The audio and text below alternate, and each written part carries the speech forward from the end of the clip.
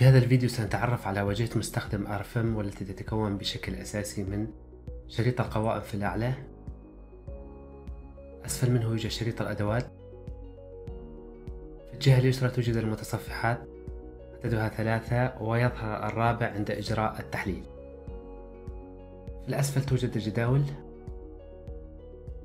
في الجهة اليمنى توجد اللوحة. وأخيرا في الوسط توجد نافذة العمل مؤخرا تم إضافة شريط جديد في الأسفل يحتوي على بعض الأوامر الإضافية. سأبدأ بشريط القوائم. جميع الأوامر الموجودة في البرنامج توجد في هذا الشريط. أيضا الأوامر الموجودة في شريط الأدوات وفي القوائم المختصرة توجد في هذا الشريط. على سبيل المثال إنشاء مشروع جديد. يمكن أن أجد هذا الأمر في قائمة File. أو على سبيل المثال ال Navigator يمكن أن أجد هذا الأمر في قائمة View أبدأ الآن بقائمة File.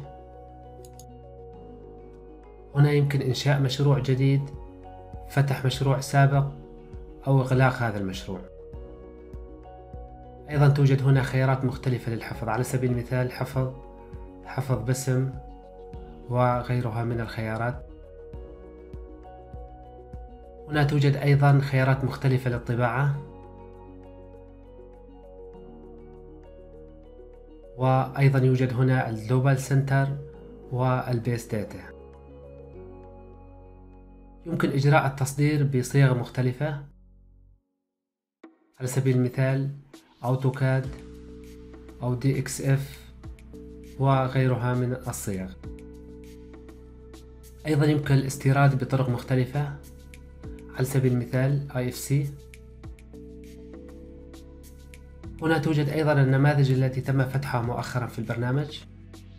وأخيرا يمكن إغلاق البرنامج. أنتقل إلى قائمة Edit هنا أجد ال Undo Redo Copy Paste. توجد أيضا خيارات مختلفة للتحديد أو الاختيار. يمكن أيضا إجراء الحذف.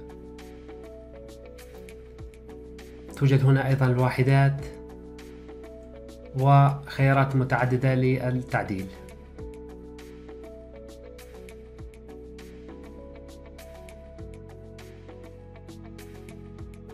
أخيرا يمكن إنشاء بارامترات معينة باستخدام هذا الخيار أو من خلال هذا الخيار. أنتقل إلى قائمة فيو في هذه القائمة يمكن أن أجري عمليات إظهار أو إخفاء. على سبيل المثال يمكن أن أخفي النافيجيتر الموجود في الجهة اليسرى من خلال الضغط على هذا الخيار. أيضا الجدول في الأسفل واللوحة في الجهة اليمنى. بهذه الكيفية أحصل على نافذة عمل أكبر. بالضغط مرة أخرى يمكن أن أستعيد هذه الخيارات.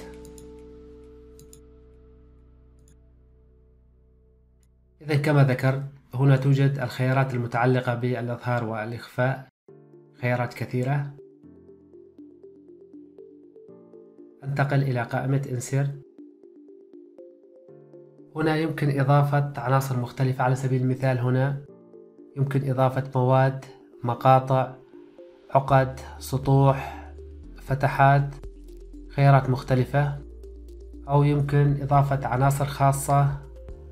هنا أيضا توجد خيارات للعقد على سبيل المثال أو الخطوط من خلال ال Types Types for Nodes أو Types for Lines أيضا للعناصر السطوح خيارات مختلفة.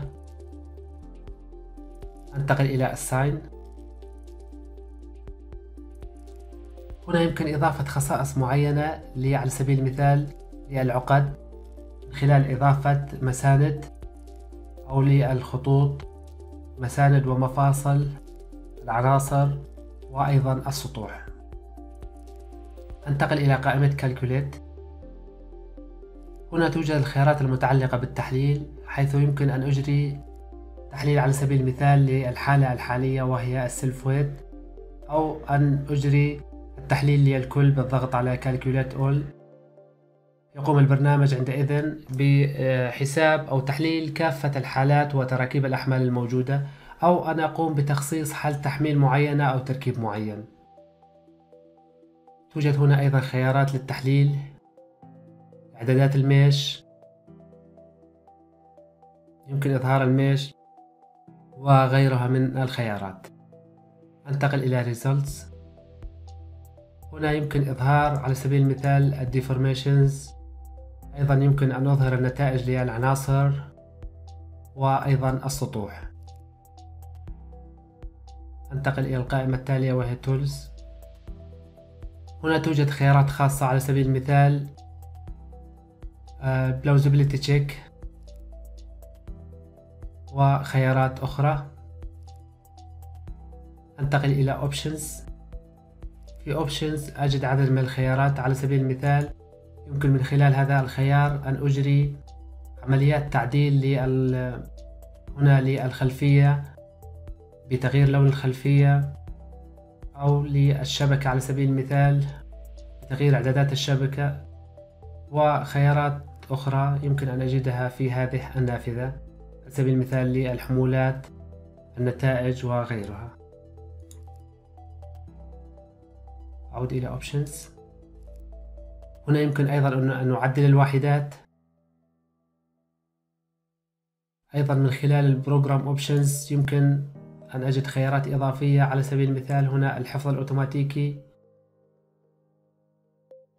هنا هذا الخيار متعلق بال Web Service يمكن أن نفعل هذا الخيار من أجل أن يتم إجراء عملية التبادل بين RFEM والبرامج الأخرى. على سبيل المثال Rhino Grasshopper وغيرها من البرامج الأخرى. هنا يمكن أيضا أن أجد إعدادات أخرى. على سبيل المثال يمكن تغيير اللغة أو المنطقة أو نظام الواحدات.